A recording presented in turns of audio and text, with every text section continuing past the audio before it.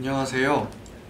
세운병원과 함께 손목 터널 증후군이란 어떤 질환인지 살펴보고 발생하는 원인과 증상, 치료 방법은 무엇인지에 대해 알아보겠습니다.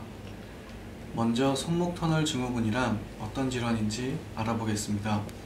우리의 손목에는 손가락을 움직이는 힘줄과 신경이 지나가는데 이를 둘러싸고 보호하는 일종의 터널이 존재합니다. 그런데 이 손목 터널이 두꺼워져 손바닥의 감각을 담당하는 정중신경을 압박하게 되면서 손저림과 감각 저하 등의 증상을 유발하는 질환이 바로 손목 터널 증후군입니다.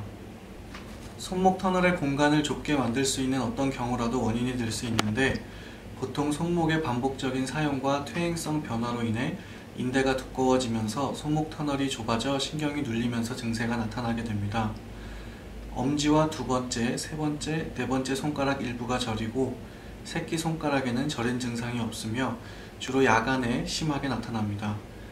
또한 자다가 손이 저려서 깨는 경우도 있고 손이 뻣뻣하고 부어있는 느낌이 나며 감각이 둔하여 젓가락질이 어렵고 작은 물건을 손가락으로 잡기가 어려워지게 됩니다.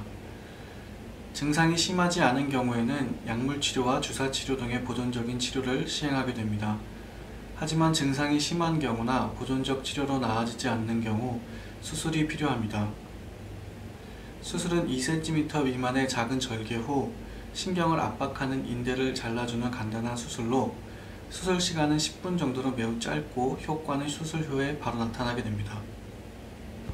수술 직후에도 보조기 착용하에 손을 가볍게 쓰는 것은 문제가 없습니다. 2주째에는 보조기도 떼고 실밥을 제거하게 되며 제한 없이 사용할 수 있습니다. 손바닥 수술 부위의 통증은 좀 더 오래 느끼는 편이지만 시간이 가면서 저절로 회복되게 됩니다. 수술 전 손가락의 감각이 많이 둔했던 분이라면 수술 이후에 감각이 돌아오는 데에도 시간이 오래 걸리는 경우가 있습니다. 지금까지 손목 터널 증후군이란 어떤 질환인지 살펴보고 원인과 증상, 치료 방법에 대해 소개해드렸습니다. 궁금하신 점은 전화나 카톡으로 문의 주시면 친절히 상담해 드리겠습니다.